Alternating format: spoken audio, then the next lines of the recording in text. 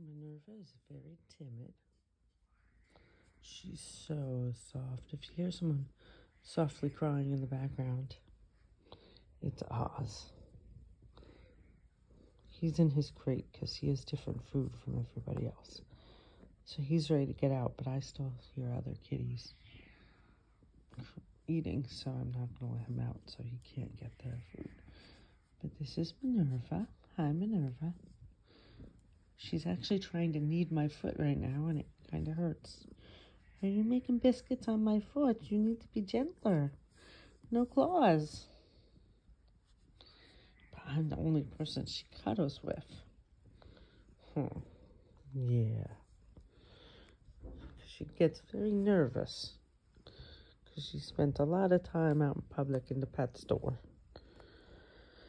Months. You were in three different pet stores trying to get attention, and you're such a sweetie.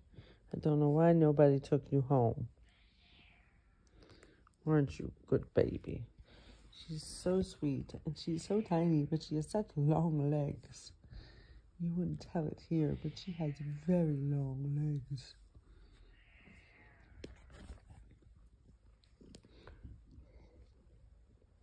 You gonna lay down? Okay. Still just me. Still just me. Yeah. Yeah, nerve, nerve.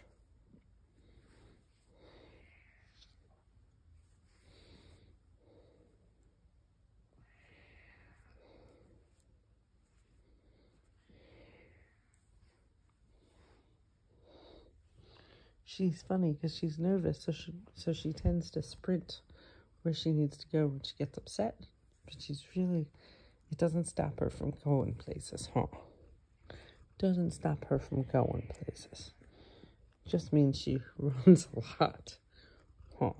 Yeah, you're a good girl. Aren't you a good girl? My brother Mars checks on her a lot. I'm surprised he hasn't come to check on her already, huh?